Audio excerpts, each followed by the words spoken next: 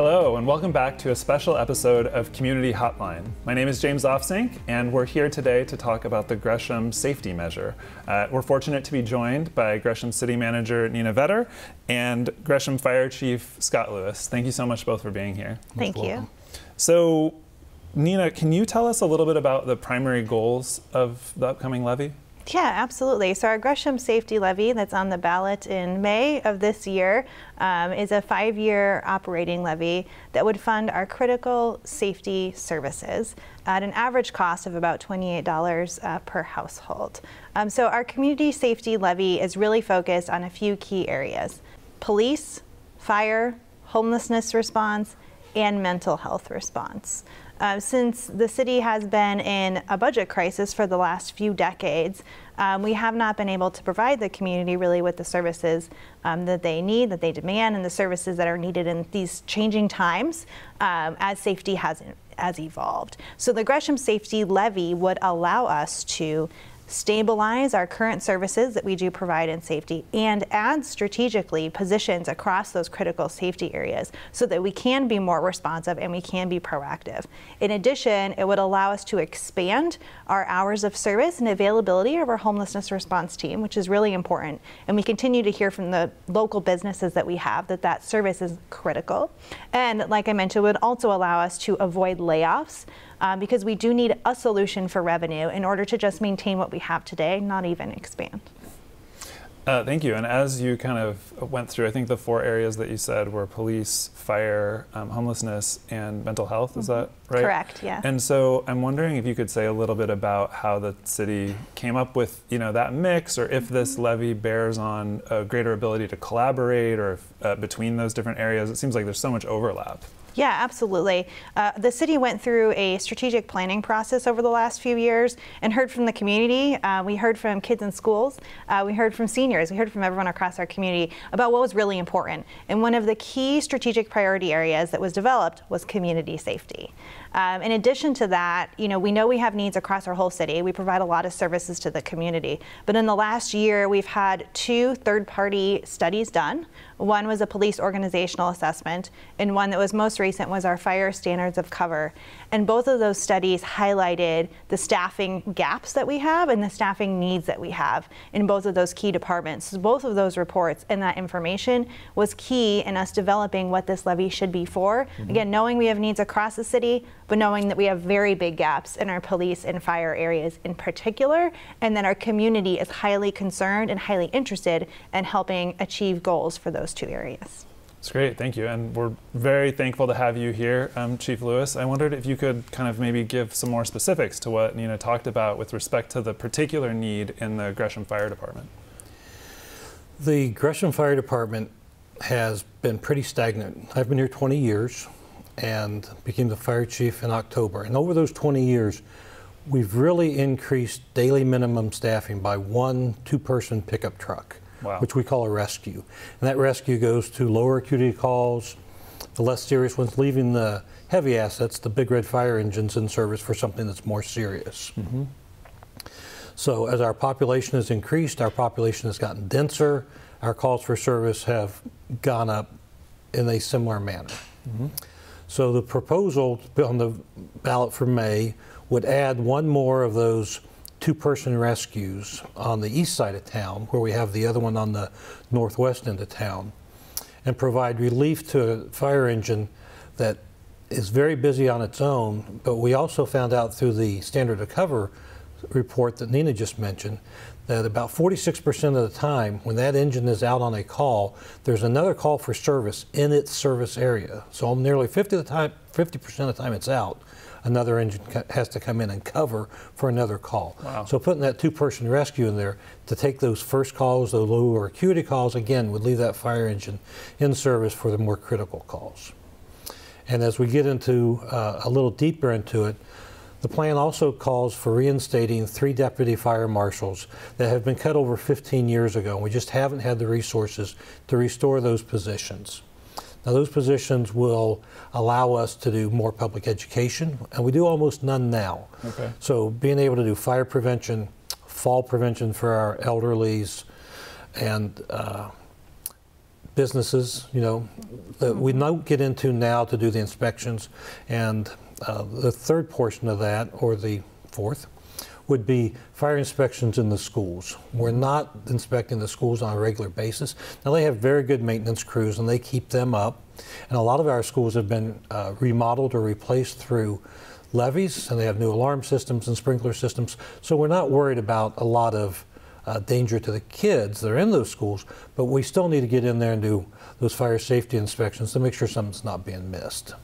Thank you. Uh, wow, that's a, a, lot of different areas and brings number, to mind a number of different questions. Um, starting with the last thing first, could you talk maybe about the importance of investing in some of this fire prevention work as you know a long-term kind of benefit to the community, but also cost savings measure? Yeah, so I, I don't want to spout statistics that I can't remember exactly. Fair enough. But quite frequently, if you have a fire in a business, mm-hmm. especially a, uh, a, small business, family owned business, they are generally undercapitalized and they can't stay afloat during that period when their business is remodeled and the, mm-hmm. and the and the space is made usable again for them. So frequently, those small businesses, when they have a fire, they're done. They're out of business and they go to work for somebody else. And then larger businesses, they will take that opportunity to relocate. Mm. So there's a high percentages of small businesses that never reopen, and then the larger ones will take that opportunity to move to either a bigger location, a smaller location, or somebody else may be offering them a better tax deal or something, and they'll relocate. So commercial and business fires have a, a detrimental impact on communities they, they're in. So that's kind of the uh, money measure. Portion of that fire prevention model. Yeah, thank you. That's really helpful. Um, I wondered if you could, did I hear correctly that the main uh, ad in terms of staff is three additional positions, or was that just one slice of should the levy pass what you're picturing? Should the levy pass, we will add an additional two person rescue mm-hmm. at Station 72 over by Kane Road Park. Now, those two people, that's two people every day. And we staff three shifts, so that's six people working every day. And then there's a, another component of that, which are uh, filling in for the people that are on vacation, sick, or all those other kind of things. Mm-hmm. Uh, and it's cheaper to hire people than it is to pay overtime to fill empty seats. Sure. So there would be nine new firefighters that would be hired, three deputy fire marshals, and then the third component would be four personnel to staff what we call an MIH or Mobile Integrated Health Unit. Okay. Those would be two nurses, two EMTs, and these would be the ones that go out and respond to those very lowest acuity calls where there's not likely to be a transport to the hospital, mm-hmm. they're not in any kind of immediate danger, but those are the calls that take the longest. Mm-hmm. You have uh, a person who's been discharged from a hospital and they don't exactly understand their prescriptions, they have to make a follow up appointment for their family doc and they don't do those kind of things, or somebody who's a repeat caller to 911. We have a lot of people we refer to as our dedicated customers. okay. And, and they, they use our service a lot. Mm-hmm. But frequently their need is not a 911 call. Mm-hmm. They simply don't have a better resource. Mm. So these MIH, these mobile integrated health units, can take care of setting them up for social programs, making sure they're in connection with the right place. Sometimes all they really need to maintain a healthy environment is a ride to the Senior Citizen Center, and they simply don't have that way to engage that. So those are a lot of the things that uh, mobile integrated health can do because they have the time to spend 30, 40, an hour with an individual, either a couple or an individual uh, person. You need something more than just a 911 call with a big red truck coming to their mm-hmm. front door. That's really helpful. Thank you. Um, I wondered actually speaking a little bit about the effectiveness of these dollars. Mm-hmm. You know, I think voters understand this is um, a lot of money for the city of Gresham, but also, you know, I think you said that on for the average Gresham home, it was going to be something like twenty-eight dollars mm-hmm. a month, um, which definitely you know adds up over a year um, mm-hmm. um, and i know that the city takes that in community investment really seriously mm-hmm. um, with respect to things like you know saving money um, you know, paying for regular time instead of overtime. I wondered if you mm-hmm. could uh, adds anything about how this money will be used effectively at yeah, the city. Absolutely. Thank you for that question. Yeah. Um, you know, when we were putting together what is the Gresham Safety Levy, um, like I mentioned, we did ta- look at the police organizational assessment review as well as the fire standards of cover and had great conversations with our staff about yeah, what is the most strategic and effective use if we are going to be asking our community to invest, if we're going to mm-hmm. be asking our community for more. Um, it's not just, we don't want to ask for things that, oh, that sounds nice, or maybe we would like to try that. Um, it's really what is the resource that's needed that's backed up by our third party studies. What is a resource that we know in time will return its investment, like fire prevention and some of the prevention efforts mm-hmm. that we also have in our police department that would be funded out of the levy? Um, so we definitely considered all of those when putting it together. It's what is the strategic additions that we need to make that will not only serve us today, mm-hmm. but will actually set our set up our community and our departments for more success in the long term. That's great. Thank you so much. Um, I wondered, uh, both of you, I don't know who would like to start on this, um, to maybe give some more specifics about what, you know, as an average community member, taxpayer, whatever, if this should pass, you know, a year or two years from now, when the money has been uh, actualized and the programs have been implemented, mm. what is going to feel different? You know, I mean, can is there, uh, you know, boots on the ground, something that can be described that we can't do this today, and should this pass, we're going to be doing this differently? Yeah, I think from um, a response perspective, um, our response times don't meet the national standards. Okay. In fact, for a community our size, we're about 30% busier than other communities of similar population. And you would think that we would have more firefighters, but actually we have less firefighters in those other communities. Mm. And those kind of resource uh, challenges drive up response times because if somebody's coming from further away, it simply takes longer to get there. And if you've lived in Gresham very long at all, you've noticed our traffic is more congested and busier than it used to be. Mm-hmm. So having that resource close to you will get them there quicker, uh, reduce that response time, and improve the level of service we give to you. In a situation where maybe every second matters. There, there are those, and mm-hmm. uh, some people overplay that, but okay. certainly I've been in the business long enough to see that difference matter, mm-hmm. and it happens in Gresham uh, on a regular basis. I dare to say almost daily Mm-hmm. Our people responding to those homes make a difference in the outcome of those individuals. Mm-hmm. Second to that, you'll see us doing more public education, mm-hmm. whether it's a, uh, a seniors group or a scout troop or um, an evening uh, activity that the city is hosting, having people there passing along that fire prevention message mm-hmm. Is really the best way because we're not going to be able to go to everybody's home and do their own fire inspection.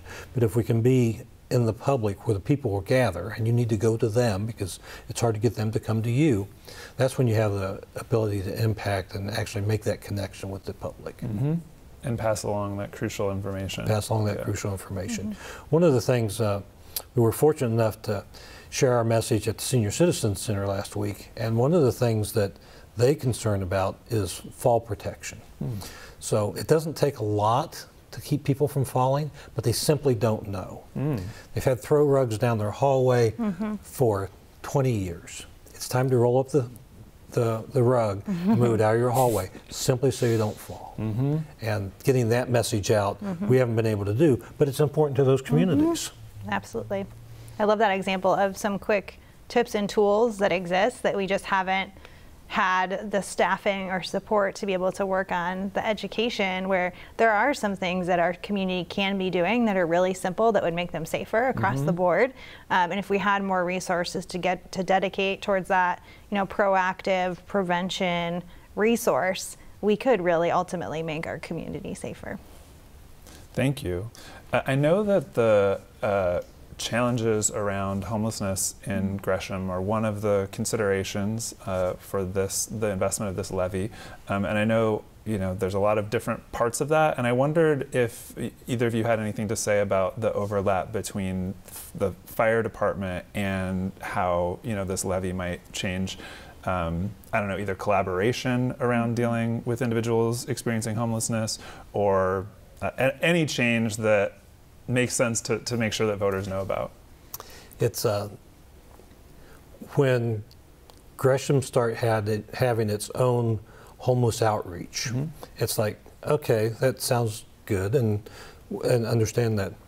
But when my firefighters got the phone number mm. of the person to call when somebody's in trouble and mm-hmm. needs a resource mm-hmm. that they can't provide, mm-hmm. that was like an aha moment for our firefighters. It's mm-hmm. like, yeah, because we've been dealing with this for a number of years. Mm-hmm. And as it is now, uh, the resource is great, but it could use more hours in the day, hours in the week. And I think that's one of the things that the, that the levy promises to put forward. Yeah, absolutely. Yeah, we constantly hear um, how responsive our homelessness response team is, um, you know, their priority is to connect people who are experiencing homelessness with the right resource. Mm-hmm. Everyone has their own unique situation, unique story of how they ended up in that position, and mm-hmm. so the solution is not always the same.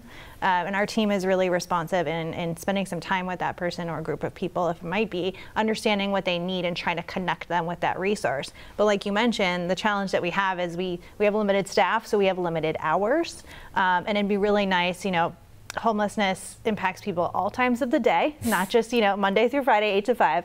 Okay. Uh, so we constantly hear from our businesses and from our community. This is a great resource, and it would be really great if it was available, um, you know, on the weekends and after business hours.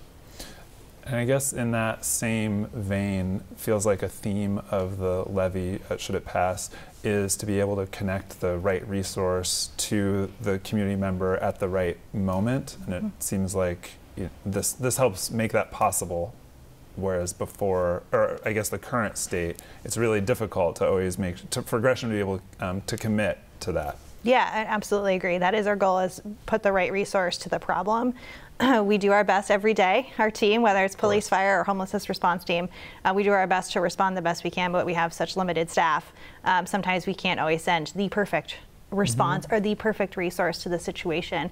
Um, and if we can do that, if we are able to have more staff where we can provide the right resource to the problem, not only are we properly dealing with the situation and hopefully providing a solution to the people or the person involved in the issue or the situation, but hopefully we're also preventing any further crime or medical mm-hmm. incidents because we are providing that more thorough response. So it's not just about responding in the moment, it's also trying to prevent further incidents, which again is hard to do with the staff we have today, Certainly. but with more staff we would be able to do that for our community. Well, that's wonderful. Unfortunately, that is all the time that we have for this segment. But uh, thank you so much, Fire Chief Scott Lewis and uh, City Manager Nina Vetter, for sharing your time and expertise with our viewers today. Once again, I'm James Ofsink, and this has been a special episode of Community Hotline, uh, leading for the Gresham Public Safety Measure, leading up to the May 16th election. Uh, in order to vote in this election, you need to be registered by April 25th. Thank you for tuning in and for being an informed voter.